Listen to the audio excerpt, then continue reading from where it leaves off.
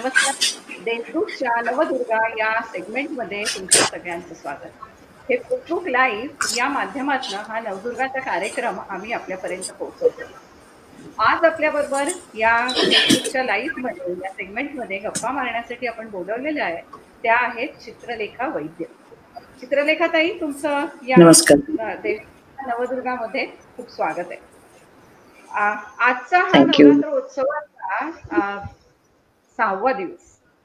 आणि सहाव्या दिवशी आज आपण तुमच्याशी गप्पा मारतो थोडी मी यांची ओळख करून देते आधी.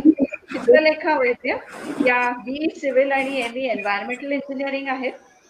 वर्षा सुखी नावाची यांची पाण्यावर काम करणारी संस्था आहे. Basically rain water harvesting solar पॉवरची वेस्ट मॅनेजमेंट आणि वेस्ट वॉटर ट्रीटमेंट या विभागांमध्ये त्या काम करतात. त्यांचे क्लायंट्स अगदी मोठ्या कंपनीजपासून ते अगदी आर्मी पर्यंत असे सगळे आहेत. आणि या सगळ्यांमध्ये त्या पाण्याबाबत जनजागृती करण्याचं इतर घटकांमध्ये समाजामध्ये सुद्धा पाण्याची जनजागृती करण्याचं खूप मोठं काम करतात. आजची जी देवी आहे आजचे जे देवीचं रूप आपण जे बघतोय ती आहे स्कंदमाता. स्कंदमाता ही सुद्धा चतुर्भुज देवी आहे. तिच्या दोन हातात कमळ आहेत. एका हातात तिच्या कमंडलू आहे. आणि दुसऱ्या हातात तिच्या घंटा आहे. ही जी देवी आहे जे आपल्याला या देवीचं रूप आपल्याला जे दिसतंय ते आपण असं म्हणूया की हे जे कमळ आहे हे एकंदरीतच सुजलाम सुफलाम सगळं जग व्हावं तो पीस यावा तो हॅपीनेस यावा याचं हे प्रतीक आहे. कमंडलू आहे हे अतिशय सिग्निफिकंट आहे कारण की कमंडलू हे तीर्थ कॅरी करत असतं. आणि तीर्थ जेव्हा कमंडलूत येतं तर हे तीर्थ काय आहे? तर हे पाण्याचंच रूप आहे. आणि न संपणारं पाणी असं जेव्हा आपण म्हणतोय त्या कमंडलू मध्ये सतत पाणी असतंय तर हे पाणी टिकवण्याची जबाबदारी मात्र आपल्यावर आहे याचं कदाचित हे आपल्याला आठवण करून देत. आणि चौथं जे आहे या देवीच्या हातात ते आहे म्हणजे जसं मी म्हटलं की दोन कमळं आहेत एक कमंडलू आहे आणि तिसरं जे ती घंटा आहे. मला वाटतं ही घंटा धोक्याची घंटा आपल्याला घ्यायला हरकत नाही कारण की आता आपण जर का आपल्या धरेकडे आणि आपल्या पाण्याकडे लक्ष नाही दिलं तर निश्चितच देवीला घंटा वाजवण्याची वेळ येणार आहे. कदाचित हेच आजच्या दिवशी आपण याचं प्रतीक म्हणून मानायला हरकत नाही असं मला वाटतं. तर या स्कंदमातेच्या या हातातली जी ही सगळी आयुध आहेत या आयुधांचा आपण आजच्या जीवनाशी विचार केला ताई तर साधारण पाणी आणि त्याचं महत्त्व हे काय आपल्याला वेगळं सांगायला कोणाला नाही? आपण सगळे पण पण अशाही परिस्थिती की जेव्हा प्रत्येकाला या पाण्याचं महत्त्व सांगताय सांगावं कळतंय तरी ते सुद्धा पटवून द्यावं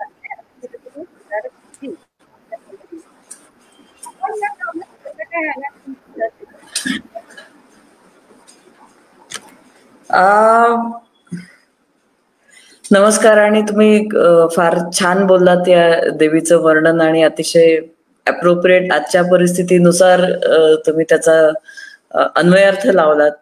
तर पाणी विषयात काम करण्याचं एक महत्वाचं कारण होतं की इंजिनिअरिंगला असताना आम्ही काही संस्थांबरोबर काम करत होते. आणि ग्रामीण भागात बरंच आम्ही काम करत होतो काही गाव दत्तक घेतलं. तर त्यावेळेला पाहताना जाणवलं की म्हणजे ज्या शेती ही चार महिन्यापुरती बऱ्याच ठिकाणी शिल्लक राहिले कारण इतर वेळेला पाणीच नसतं. आणि जेव्हा पाणी नसतं तेव्हा शेती होत नाही आणि मग त्या गावात आपण म्हणतो सत्तर टक्के शेती अवलंबून शेतीवर अवलंबून आपला देश होता आहे. आणि एवढ्या लोकसंख्येला अन्नाची पण गरज आहेच. पण त्या प्रमाणात पाहाल तर शेतकरी वर्षभर धान्य घेऊ शकत नाही आणि मग त्याच्यातून इतर प्रश्न सुरू होतात कारण त्याच्याकडे दुसरा स्किल सेट नसतो. आणि मी नेहमी म्हणते की पाणी हे एखाद्या गावाची इकॉनॉमी घडवू शकतं तसं ते बिघडवू शकतं. पाणी नसेल तर त्या गावाची इकॉनॉमी पूर्णपणे वाताहत होते. मागे राजेंद्र सिंगांचा एक सुंदर कार्यक्रम पाहिला होता. त्याच्यामध्ये त्यांनीही असं म्हटलं होतं की आज सिरियामध्ये आपण जे प्रश्न धार्मिक राजकीय म्हणतो पण त्याचं मूळ कुठेतरी पाणी नाही आणि त्याच्यातून आलेल्या दुष्काळात किंवा त्याच्यातून आलेल्या इतर प्रश्नांमध्ये आहे आणि त्या असंतोषामधून मग पुढचे प्रश्न सुरू झाले. त्यामुळे अगदी वैश्विक पातळीवर हे सत्य आपण जे नेहमी म्हणतो की तिसरंही महायुद्ध पाण्यासाठी होईल. ते महायुद्ध होईल नाही ते ऑलरेडी सुरू झालंय. आणि म्हणजे आपण ग्लोबल वॉर्मिंग म्हणतो पाण्याचा प्रश्न काही वर्षांतर गंभीर होतो. तो काही वर्षांतर तो आता ऑलरेडी गंभीर आहे आणि आपल्या दाराशी अत्यंत अकराळ विक्राळ पद्धतीने उभा आहे. आपण डोळे मिटले तरी तो प्रश्नाचा सिरियसनेस कमी होणार नाहीये त्याच्यातून. त्यामुळे मग तेव्हा असं वाटलं की इंजिनिअरिंग केल्यानंतर काही कंपनीजमध्ये पण मी काही वर्ष काम केलं. पण कुठेतरी टोचत होतं म्हणजे की माझ्या वर्गातली मुलं पण साधारण अशा प्रकारची नोकरी करतायत टिपिकल इंजिनिअरिंग जसं करतो तशी. त्यापेक्षा वेगळं आणि ज्याच्यातून समाजाचा प्रश्न सुटेल आणि त्याच्यासाठी आपल्या टेक्निकल नॉलेजचा उपयोग होईल असं काय करता येईल? तर ह्या दृष्टीने आणि मग पाणी हा जिवाळ्याचा विषय होता पर्यावरण हा जिवाळ्याचा विषय होता. तर ऍट द सेम टाइम मला ते एनजीओ स्वरूपात करायचं होतं तर प्रोफेशनली करायचं होतं.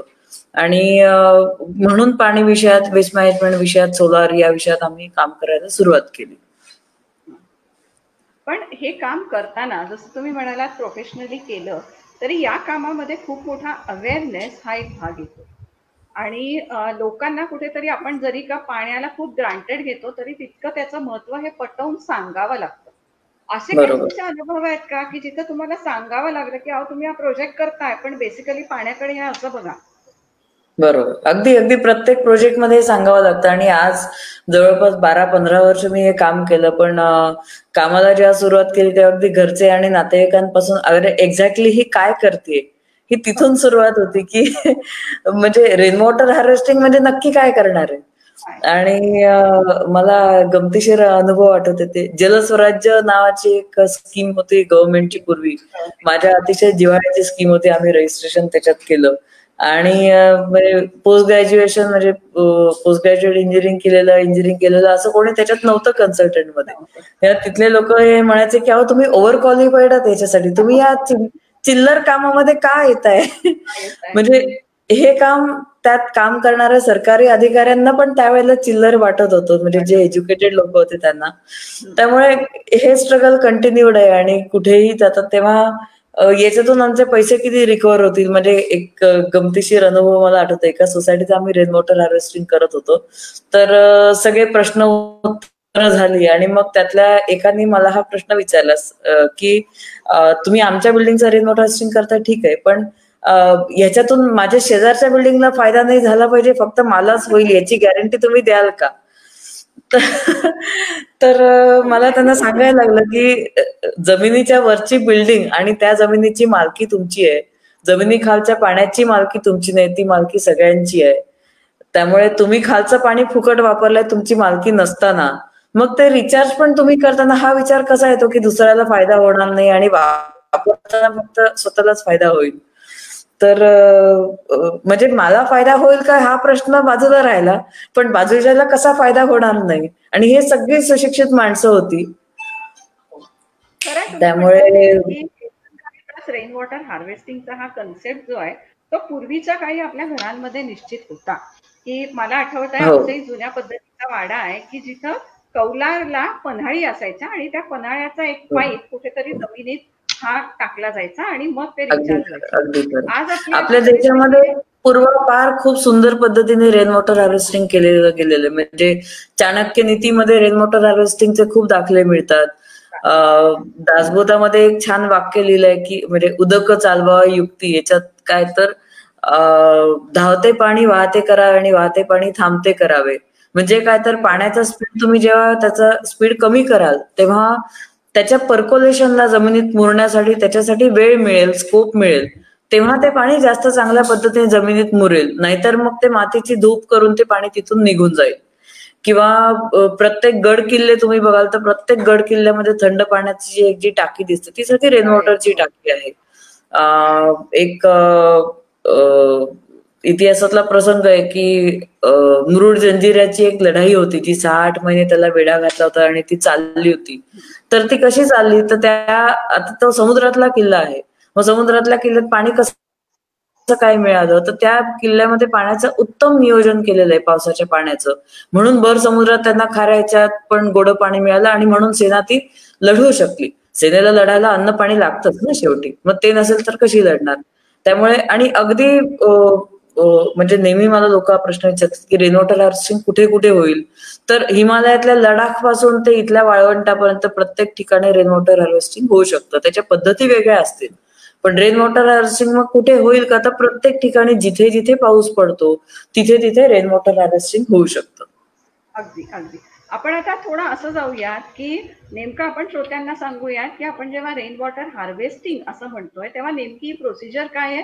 आपण आपल्या ग्राउंड वॉटर लेवल म्हणजे वॉटर टेबल आज जे वॉटर टेबल आपलं खूप खालावलेलं आहे कारण की आपण त्याच्यातनं उपसा खूप केलेला आहे तर ते वॉटर टेबल रिचार्ज करण्यासाठीची म्हणून ही काय पद्धत आहे आणि ही कशी प्रत्येकाला अवलंबता येऊ शकते? बरोबर बरोबर गेल्या वर्षी नीती आयोगाचा एक रिपोर्ट होता ज्याने सगळ्यांचे डोळे खाडकन उघडले असतील निदान या क्षेत्रात काम करणारे लोकांचे तरी. तर त्या रिपोर्टमध्ये दोन महत्त्वाचे मुद्दे मांडलेत. बाकीचे कॉम्प्लिकेटेड बरेच आहेत पण सर्वसामान्याला प्रत्येकाला समजतील असे दोन मुद्दे. जगातल्या एकशे वीस एकशे एकवीस देशांमध्ये पाण्याच्या क्वालिटीमध्ये आपला भारत देशाचा शेवटून तिसरा नंबर आहे. एकशे अठरावा नंबर आहे आपला.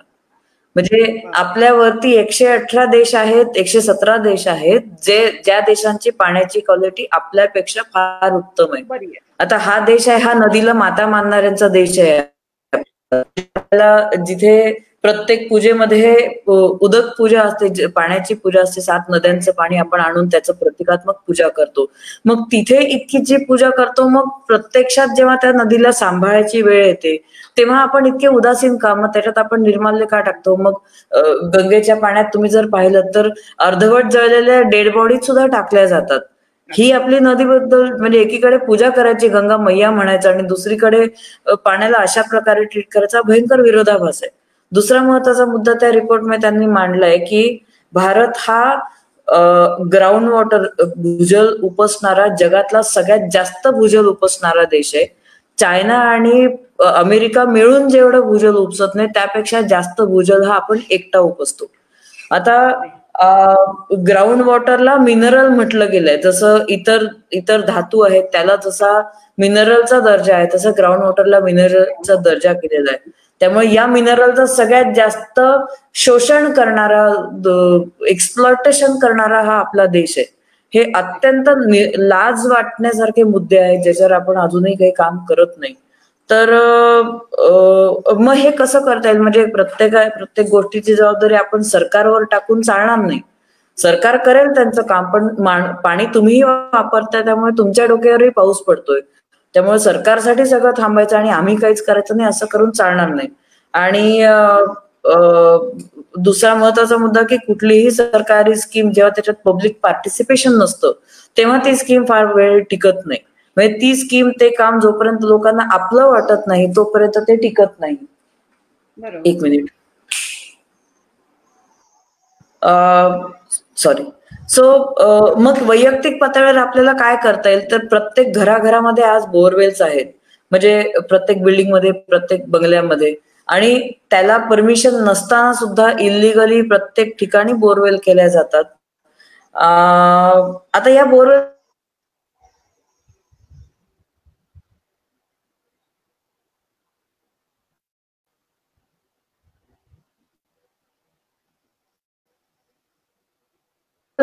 तर तुमच्या बोरवेला पाणी आहे याचा अर्थ जमिनीखाली आणि पावसाचं पाणी कधीतरी मुरलेलं होतं. आणि तुम्हाला आवाज येतोय माझा? हो येतोय. मध्ये गेला होता पण तुम्ही बोरवेल बाबत बोलत होता. करेक्ट करेक्ट सो जमिनीखाली जिथे पावसाचं पाणी मुरलेलं होतं मागचे शंभर दोनशे पाचशे हजार वर्ष ते पाणी आपण आज वापरतोय. मग ते मुरलेलं पाणी साठलेलं पाणी म्हणजे कोणीतरी मागच्या पिढ्यांनी पैसे साठ ठेवले म्हणून आज आम्ही श्रीमंत आहोत म्हणण्यासारखं आहे. पण आज तुम्ही ते जर नाही केलं तर तुमच्या मुलांच्या तोंडचं पाणी तुम्ही काढून घ्याल. म्हणजे मी नेहमी म्हणते की मी स्वार्थी काम करते. मी तुमच्यासाठी काम करत नाही. मी माझ्या मुलासाठी आणि त्याच्या मुलासाठी काम करते. आणि त्याच्यात मग तुमच्याही मुलाचा आणि त्याच्याही मुलाचा फायदा होईल तो भाग वेगळा आहे. पण तुम्ही हे जर नाही केलं तुम्ही जर अनिर्बंध पाणी उपसत राहिलात तर एका वाक्यात सांगायचं तुम्ही तुमच्या मुलाच्या तोंडचं पाणी पळवताय. इतकी जाणीव फक्त माणसाने असू द्यावी. मी नेहमी म्हणते की आपण आपल्या मुलासाठी इन्व्हेस्टमेंट करतो शिक्षणासाठी करतो लग्नासाठी करतो. त्याला शुद्ध पाणी मिळावं म्हणून आपण काय इन्व्हेस्टमेंट करतो. आपण काही इन्व्हेस्टमेंट करत नाही. त्यामुळे ह्या दृष्टीने या प्रश्नाकडे बघावं की ही इन्व्हेस्टमेंट आहे आपल्या पुढच्या आणि त्यांच्या पुढच्या पिढीला. निदान दहा पंधरा वर्ष पिण्याचं पाणी मिळावं. याच्यासाठी तरी हे आपण केलं पाहिजे. आणि एकीकडे दुष्काळाच्या बातम्या आहेत एकीकडे पुराच्या बातम्या आहेत. हे कुठेतरी बॅलन्स साधला गेला पाहिजे की एकीकडे पाणी हे सर्वनाश पण करू शकतं आणि दुसरीकडे पाणी नाही म्हणून पण प्रश्न निर्माण होत आहेत. तर ह्याच्यात जर आपण बॅलन्स साधू शकतो म्हणजे मी आता रेन वॉटर हार्वेस्टिंग हे नुसतं पाण्याचा सोर्स म्हणून नव्हे. तर रेन वॉटर हार्वेस्टिंग हे फ्लड मॅनेजमेंट पुराच्या पाण्याचं नियोजन म्हणून सुद्धा अतिशय महत्वाचं आहे. हे नेहमी सांगते. की निदान दरवर्षीच्या पावसाळ्यामध्ये बातम्या येतात की इथे पाणी साठलंय जिथे कधीही पाणी बघितलं नाही अशा ठिकाणी आज तीन तीन चार चार दहा दहा फूट पाणी साठतंय. म्हणजे यावर्षी सांगली कोल्हापूर भागामध्ये विशेषतः जे काही झालं ते आपण इतक्या वर्ष केलेल्या पापाचाच कुठेतरी परिणाम आहे. त्यामुळे आता तरी माणसाने जागा व्हायला पाहिजे आणि जे पाणी मिळतं ते निदान रिचार्ज करा कारण ते सगळ्यात उत्तम आणि सगळ्यात इकॉनॉमिक टेक्निक आहे. तुम्ही जिथे जिथे बोरवेल केली आहे तिथे तिथे रिचार्ज करा.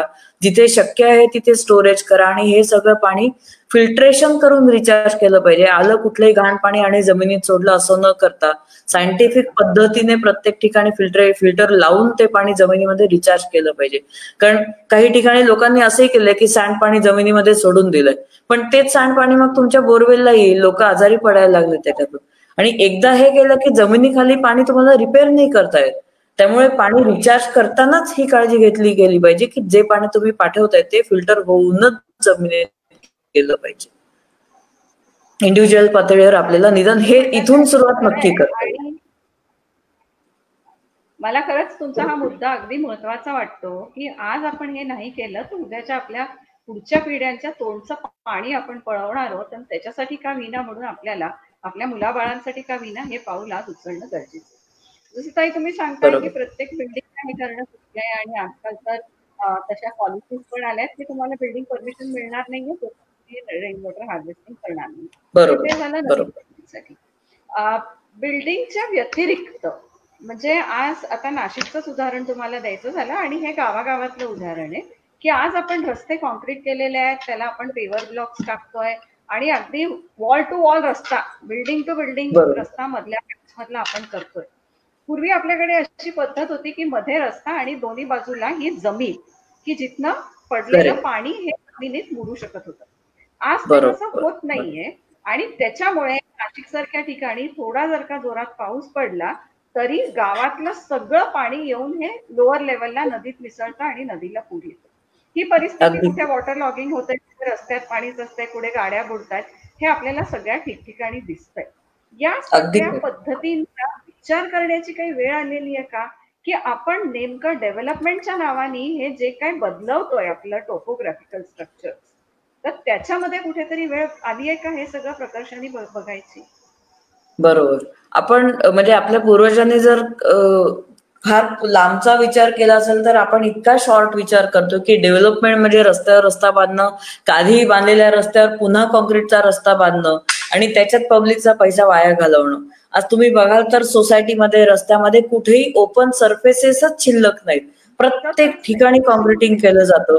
आणि मग पाणी मुरणार कसं? तुम्ही पाण्याला मुरायला जागा नाही दिली किंवा नुसती माती सोडूनही चालणार नाही तर तिथे व्हेजिटेटिव्ह कव्हर असलं पाहिजे. झाडांचं कव्हर जर असेल तर झाडांची मुळं ते पाणी धरून ठेवतील. नाहीतरमध्ये काही काही नद्यांमध्ये काही संस्था काम करत होत्या. उद्देश चांगला होता. पण त्यांनी जो नदीचा सरफेस जो सगळा खरवडून काढला तर तिथली जी जैवविविधता होती ती नष्ट झाली. आणि नदीच्या खाली तुम्ही जर दोन फुटाच्या खाली मातीमध्ये खोदलं उन्हाळ्यात समजा ती माती खोदली तर दोन फुटाच्या खाली माती चक्क कोरडी आहे. म्हणजे नदीच्या तळाची ही जी अवस्था आहे की तिथेही पाणी नसेल तिथेही पाणी मुरत नसेल तर तुमच्या आमच्या सरफेसवर कुठे मुरेल ते? त्यामुळे व्हेजिटेटिव्ह कव्हर झाडांचं असणं हे जमिनीमध्ये पाणी मोडण्यासाठी अतिशय आवश्यक आहे. मला नेहमी लोक प्रश्न विचारतात की आजच असं काय झालंय की रेन वॉटर हार्वेस्टिंग करायची बोंबाबोंब तुम्ही करताय? तर त्याची दोन तीन महत्वाची कारणं गेल्या शंभर वर्षात आपण काय केलं? तर गेल्या शंभर वर्षात जगाची लोकसंख्या सात पटीने वाढली. सात मिलियनच्या वर आपली लोकसंख्या गेली. आणि सॉरी सातशे मिलियन सात मिलियन नव्हे. आणि पाणी आहे तेवढंच राहिलंय. म्हणजे समुद्राचं पाणी जे आहे ते सत्त्याण्णव टक्के पाणी हे खारं पाणी जे अवेलेबल आहे त्याच्यामध्ये. तीन टक्के पाणी फक्त गोड पाणी आहे. त्या तीन टक्क्यामधलं नव्वद टक्के पाणी हे परत आईस आणि ग्लेशियर फॉर्ममध्ये आहे. म्हणजे झिरो पॉईंट थ्री पर्सेंट इतकंच पाणी फक्त आपल्याला पिण्यासाठी अवेलेबल आहे. आपल्याला पिण्यासाठी प्राण्यांना जनावरांना झाडांना सगळ्यांना मिळून. मग जर तुमची लोकसंख्या सात पटीने वाढली तर पाण्याचा प्रश्न सात पटीने गेल्या शंभर वर्षात गंभीर झाला. आणि झपाट केली त्यामुळे धरून राहण्यासाठी जे काही झाडांचं आवश्यक आहे. ते स्ट्रक्चर आपण नष्ट आणि मुळाला जागा ठेवली नाही कॉन्क्रिटिंग केलं त्यामुळे त्या सरफेस मध्ये जे पाणी अदरवाईज मुरलं असतं ते न मुरता ते लोएस्ट भागात जसं तुम्ही म्हणता तसं जाऊन पोहोचलं. आणि तिथून जाणार कुठे? आज मुंबई सारखं शहरच तुम्ही घ्या. समुद्र पातळीला तुम्ही आहात म्हणजे दोन हजार पन्नास साली मुंबई शहर पाण्याखाली जाईल हे म्हणतायत. आता तरी आपण डोळे उघडणार का? तीस वर्ष आहेत फक्त आपल्या हातात. तर आणि दरवर्षी पावसाळ्यात नवीन नवीन उच्चांक पुराचे मुंबईमध्ये किंवा इतर सगळ्या शहरांमध्ये आपल्याला दिसतात.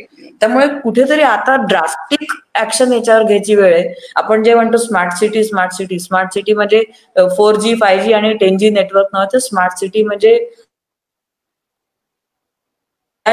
माणसं पण सुजाण आहेत आणि ज्या शहरातली माणसं आपल्या रिसोर्सेसचं उत्तम नियोजन करू शकतात. ते शहर माझ्या मते स्मार्ट सिटी असलं पाहिजे. आणि तो अप्रोच आपल्या डेफिनेशनमध्ये कुठेतरी आला पाहिजे डेव्हलपमेंटच्या डेफिनेशनमध्ये. अगदी व्हेरी व्हेरी वेल सेड आणि खूप छान म्हणताय तुम्ही. तुम्ही जे काय मांडताय ते अतिशय विचार करण्यासारखं आहे. एक थोडासा आणखीन पुढे जाऊयात तुमच्या या जर्नीच्या टप्प्यामध्ये की तुम्ही असं म्हटलंय की तुम्ही आर्मीसाठी पण काही प्रोजेक्ट केले. तर मगाशी तुम्ही असा उल्लेख केला की लेह लडाखमध्ये सुद्धा वॉटर हार्वेस्टिंग शक्य की जिथं सगळा बर्फाळ प्रदेश आहे. एक पद्धत आपण वांगचू सरांची बघितलेली आहे की आईस तुपा त्यांनी केले सोनम वांगचू यांनी आईस तुपाचं एक मॉडेल केलं आणि त्याच्यातनं त्यांनी वॉटर हार्वेस्टिंगचा प्रकार केला. पण असे वेगवेगळे विविध मॉडेल्स आहेत. तुम्ही काय वापरलात आर्मीच्या साठी आणि त्या प्रदेशात वॉटर हार्वेस्टिंग कसा हा अनुभव कसा होता? आम्ही नुसतं वॉटर हार्वेस्टिंगमध्ये काम करत नाही तर आम्ही वेस्ट मॅनेजमेंट एनर्जीमध्ये पण काम करतो. तर हाय अल्टिट्यूड एरियामध्ये मी वॉटरचं काम नाही केलं आम्ही वेस्ट मॅनेजमेंटचं काम केलं. कारण तिथे तो प्रश्न जास्त गंभीर होता. म्हणजे आपलं कचऱ्याचं विघटन शहरी भागातच होत नाही त्यामुळे सगळीकडे डम्पिंग ग्राउंडचे डोंगर उभे राहिलेले आहेत. हा प्रश्न हाय अल्टिट्यूडमध्ये खूप जास्त सिव्हिअर आहे कारण तिथल्या तापमानामुळे तिथल्या हवेतल्या ह्युमिडिटीमुळे तो कचरा विघटनच होत नाही आणि वर्षानुवर्ष तसाच पडून राहतो. आणि त्या ठिकाणी आम्ही कचऱ्यावर काम केलं ओल्या कचऱ्यावर काम केलं की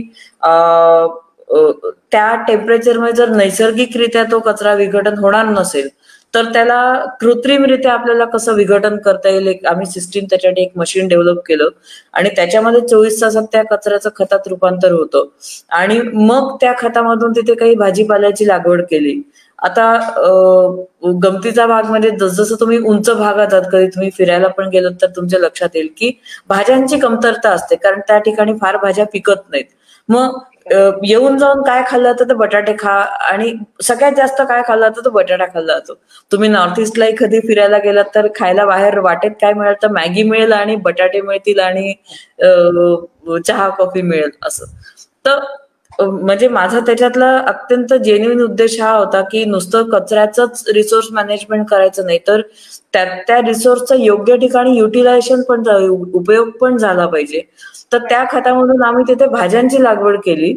आणि इतक्या सुंदर ताज्या फ्रेश भाज्या आता त्यांना त्या उंचीवर मिळतात जिथे दहा दहा फूट बर्फ साठतं रस्ते बंद होतात. तिथे म्हणजे ज्या गेस्ट हाऊसमध्ये मी राहत होते तिथे फार गंमत झाली की तिथल्या केअरटेकरने मला सांगितलं की मॅडम त्या गेस्ट हाऊसमध्ये तुम्हाला जर हिवाळ्यात यायचं असेल तर तुम्ही छतावर पोचू शकता दारातून आत पोचू शकत नाही जमिनीवर. कारण दहा ते बारा फुटाचा बर्फ सगळीकडे त्यामुळे ग्राउंड फ्लोअर हा बर्फात गाडलेला असतो. त्यामुळे त्या बर्फामध्ये अशी गुहा बनवून मग तुम्ही त्यामध्ये आत जाऊ शकता. तर अशा क्रिटिकल ठिकाणी कुठली कचऱ्याची गाडी पोहोचणार ना? म्हणजे आपल्याकडे आज पॅन्डेमिकमध्ये हे फार लर्निंग आहे प्रत्येकासाठी की कचऱ्याची गाडी तुमच्या इथे पोचत नाही.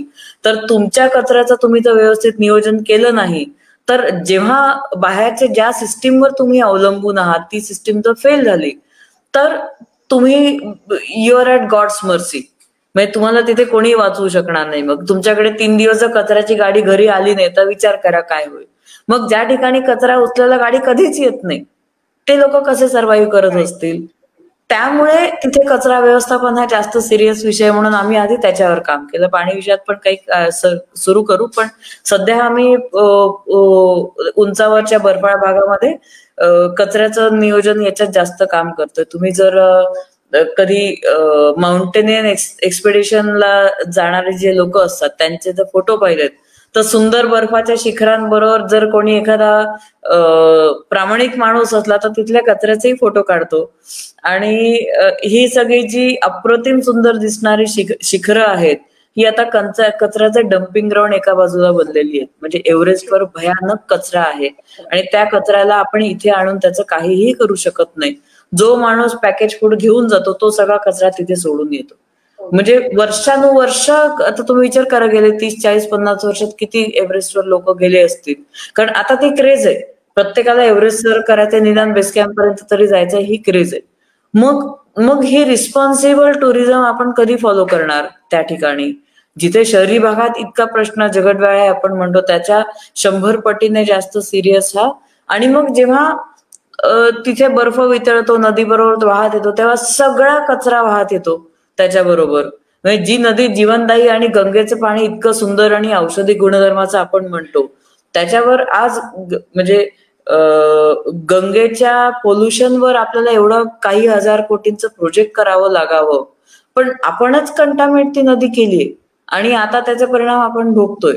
म्हणजे मध्ये फार एक सुंदर पिक्चर मी पाहिलं होतं की नदीला माता मानणाऱ्यांचा देश असं एक चित्र आणि नदीला नदी म्हणून मानणाऱ्यांचा देश असं एक चित्र. तर जे नदीला नदी म्हणून ट्रीट करतात ते जास्त रिस्पॉन्सिबली ट्रीट करतात. आणि आपण एकीकडे पूजा करतो त्याची आणि दुसरीकडे त्याच नदीमध्ये आपल्या घरातली सगळी घाण टाकतो. हा विरोधाभास कुठेतरी थांबायला हवा.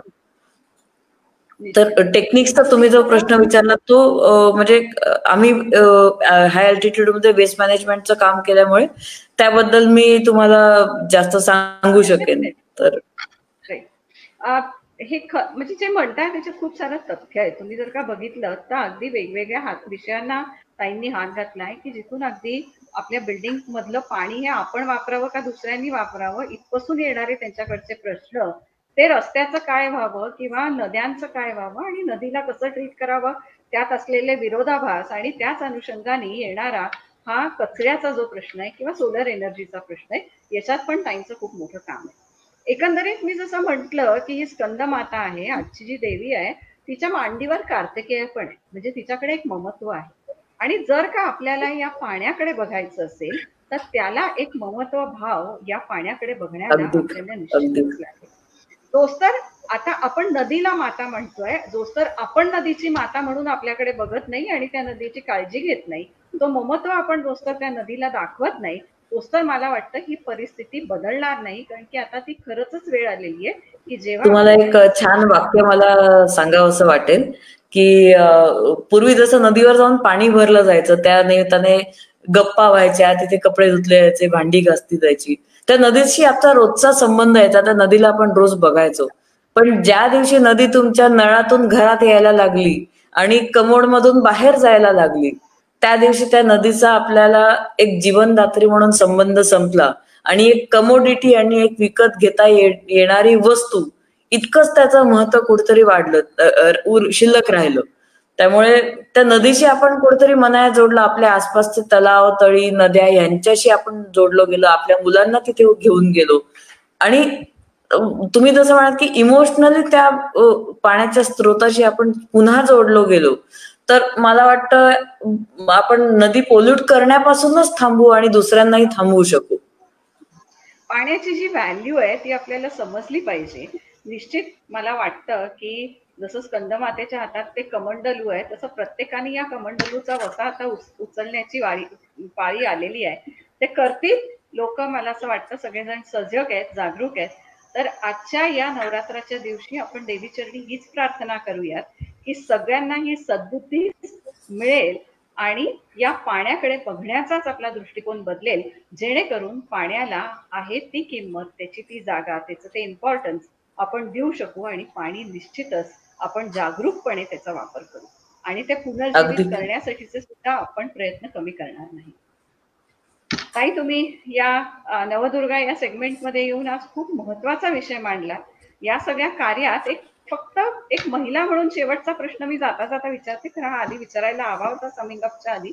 पण महिला म्हणून या क्षेत्रात काम करताना कुठेतरी तुम्हाला जास्त सक्षम वाटतंय का? जास्त अथॉरिटेटिव्ह वाटतंय का? की तुम्ही हे महत्त्व चांगल्या पद्धतीने पटवून देऊ शकता? जेव्हा सिव्हिल इंजिनिअरिंगला ऍडमिशन घेतली तेव्हा माझ्या वर्गात एकशे वीस नऊ दहाच मुली होत्या. आणि फार जात नव्हत्या मुली सिव्हिलला त्यावेळेला सुद्धा. अजूनही काही फार परिस्थिती वेगळी नाही. आणि मग फील्डमध्ये काम करायला लागल्यावर तर म्हणजे मग ते लेबर असो कॉन्ट्रॅक्टर असो त्यांना साईडवर बाई असण्याची सवय नसते. त्यामुळे बाई बॉस तर अजिबात सवय नसते. म्हणजे साईटवर बाई म्हणजे कोणतं लेबर माणसाबरोबर जबरदस्ती आलेली त्याची लेबर बायको. ह्याच्या पलीकडे त्यांचा बाईशी फारसा संबंध आलेला नसायचा.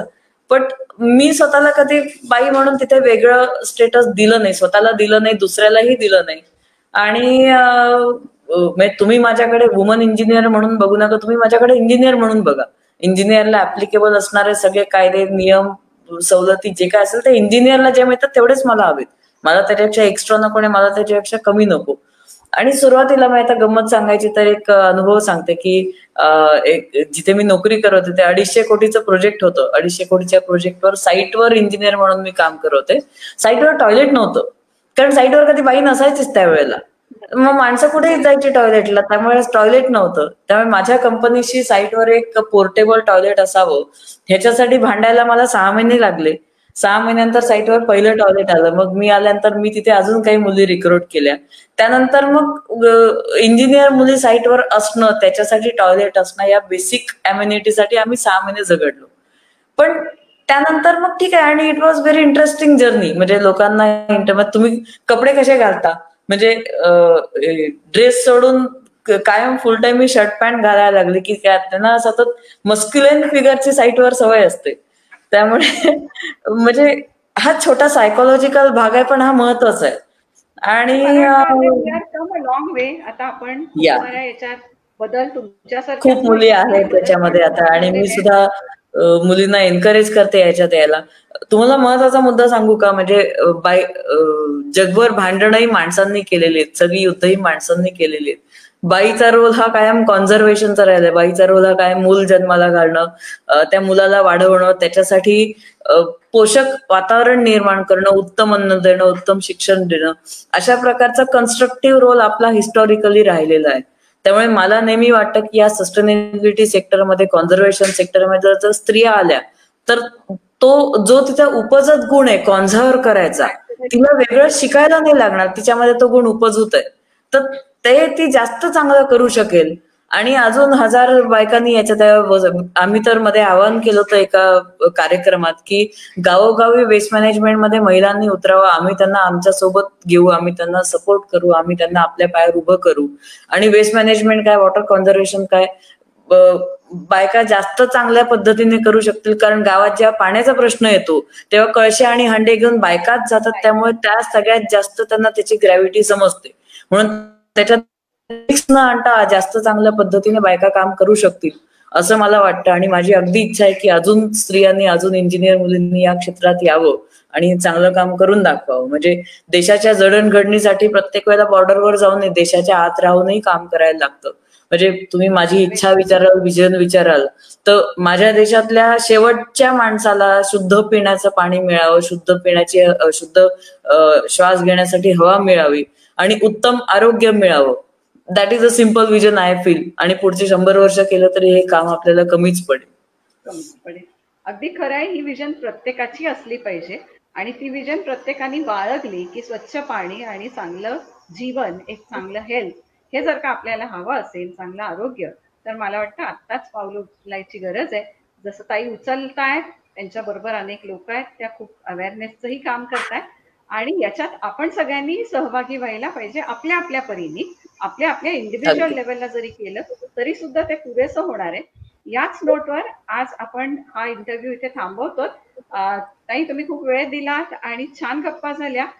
जसं मी म्हटलं स्कंदमातेचं रूप आहे त्याला परिपूर्ण असलेलं तुमचं काम आहे अगदी ममत्वापासून ते त्या कमंडलूतल्या पाण्यापर्यंत. धन्यवाद. आणि याच देवीच्या चरणी प्रार्थना करूया की आपला देश हा सुजलाम सुफलाम होईल आणि त्याच्यासाठी प्रत्येक जण योगदान करेल. Thank you so much Thank you so much.